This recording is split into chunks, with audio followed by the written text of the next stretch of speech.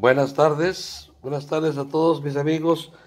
El día de hoy vamos a atrevernos a, preparar unas mojarritas, unas mojarritas fritas. Vamos a, vamos a ver qué tal nos queda. Ya tenemos aquí el ajo para hacer el mojo de ajo, la pimienta, un poco de harina, por esta harina y este, vamos a, vamos a hacerles unas, unos cortes aquí, unos tres o cuatro cortes para ver cómo, cómo, nos, cómo nos queda. Ahorita regresamos. Bueno, antes ya, ya, ya, ya tienen las, ya le hicimos las, las, eh, unas cortaditas ahí por ahí para que se Vamos a poner sal ahorita, ponle sal, suficiente sal en medio de las, de las, de las eh, cortadas estas por los lados, ponle. Ya le puse. No, no, ponle suficiente sal, agarra suficiente sal.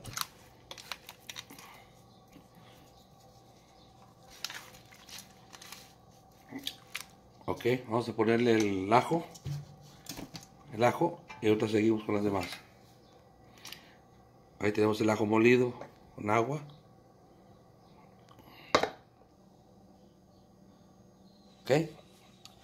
Pues, después de haberles puesto el ajo, aquí mi esposa le está poniendo un poco de harina, no, no mucha, nada más para que les cubra un poco.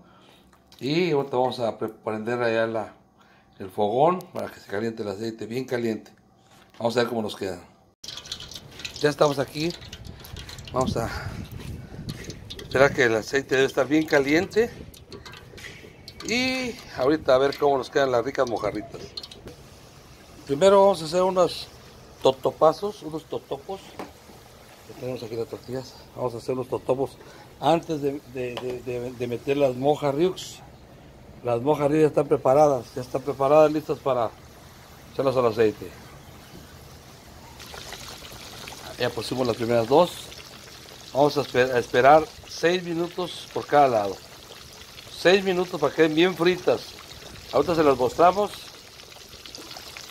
A ver cómo nos queda. Ya salió la primera.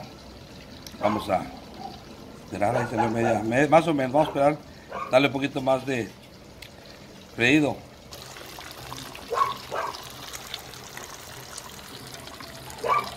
Debe estar caliente, el aceite bien caliente. Esta vez no quise usar el disco, usé un sartencito medianito.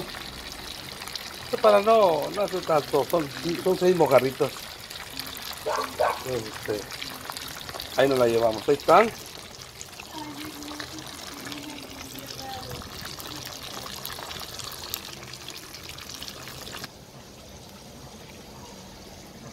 Ahí va, ahí va, ahí va, ahí va diciendo. Ahí va diciendo las bojarritas. ¿Eh?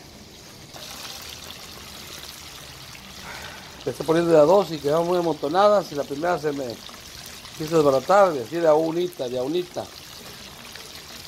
Está quedando el mojo de ajo, al mojo de ajo, el, ajo le da un sabor tremendo a las, a las mojarras, a cualquier a cualquier pescado.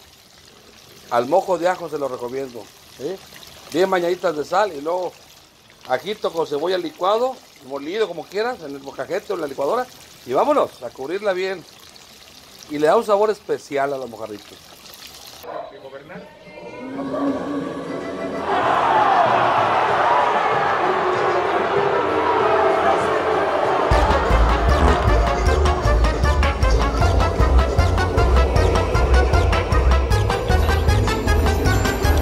morena, arriba morena, ya nada